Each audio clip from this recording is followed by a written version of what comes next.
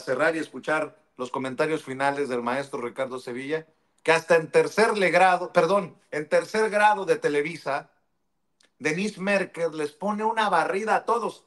No me imagino, no me puedo imaginar a un Raimundo Rivapalacio escuchando a su compañera, a su colega Denise Merkel, básicamente cacheteándolo así con cachetadas guajoloteras, porque uno de los cómplices mediáticos de García Luna, siempre lo hemos sostenido, ha sido, fue y seguirá siendo Raimundo Rivapayazo.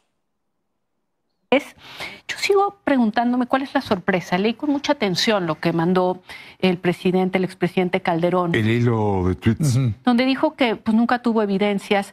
Hay que recordar que antes de que fuera secretario de Seguridad Pública, fue eh, quien dirigió la Agencia eh, de Investigación Criminal. Federal de Investigación, no sé. Sí. Y yo quiero decir que la detención y el montaje de Florence Cassé fue previa a que fuera secretario de Seguridad Pública.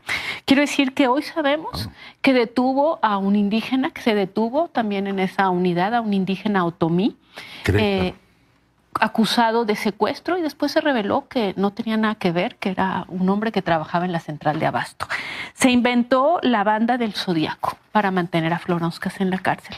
Se inventó a una banda que se llamaba de Mohamed, que eran albañiles que fueron detenidos y tenemos testimonios de dónde fueron detenidos, a los cuales se les juntó, se les puso junto a dos víctimas de secuestro y pasaron 18 años en la cárcel. Esto ocurrió todo antes de 2006. Es decir, cuando lo nombran secretario de Seguridad Pública, teníamos evidencia de que el comportamiento respecto a ciertas, no torturar, no, un montaje, no inventar delitos, todo eso ya estaba a la luz pública. Entonces, a mí sí me sorprende que todavía hoy se diga, no, pero pues sí, este, no nos dimos cuenta. ¿Cómo que no nos dimos cuenta? La reportera que, estuvo haciendo el caso de Florence Cassé era colombiana y la gente de Genaro García Luna la amenazó con expulsarla del país si, perseguía, digamos, mm. con la investigación. Entonces tampoco nos cae de sorpresa, pero sí déjame. Y yo pregunto, y Riva Palacio, ¿cómo amaneció del hígado después de escuchar sus verdades por parte de la periodista Denise Merker en tercer grado? Ahora, ahora, si